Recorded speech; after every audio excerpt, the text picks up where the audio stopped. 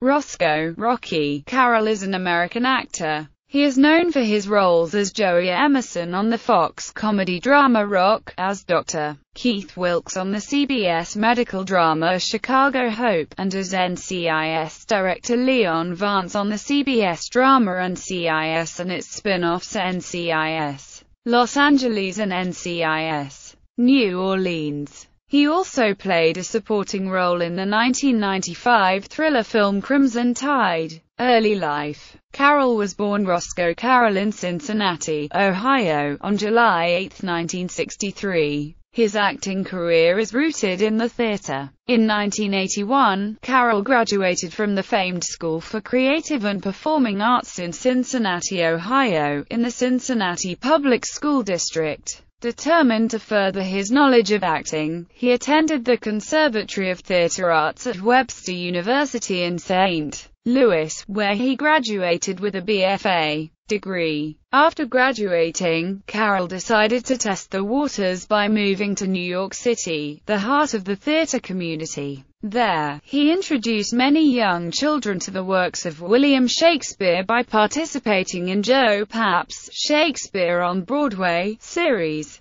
Carroll married Gabrielle Bullock in 1996. They have one daughter, Elisa career. As part of Joe Papp's acclaimed New York Shakespeare Festival Carroll helped to open doors for actors of color by taking on non-traditional roles that were rarely portrayed by black actors in Shakespeare dramas. In 1987, Carroll was introduced to the works of August Wilson. The up-and-coming and talented young actor was allowed to recreate his role for the Broadway production of Wilson's critically acclaimed story The Piano Lesson. The play not only earned a Pulitzer Prize for drama, but Carroll earned a Tony and Drama Desk nomination. He is known for portraying ne'er-do-well musician Joey Emerson on the Fox comedy drama Roc. He also had a starring role as Dr. Keith Wilkes in the TV series Chicago Hope. Carroll has guest-starred in several other TV programs including The Agency, Boston Legal, Family Law, The West Wing, Law and Order, The Game, ER and Grey's Anatomy. Carroll has had roles in many Hollywood films such as Born on the 4th of July, The Ladies' Man, Crimson Tide, The Great White Hype,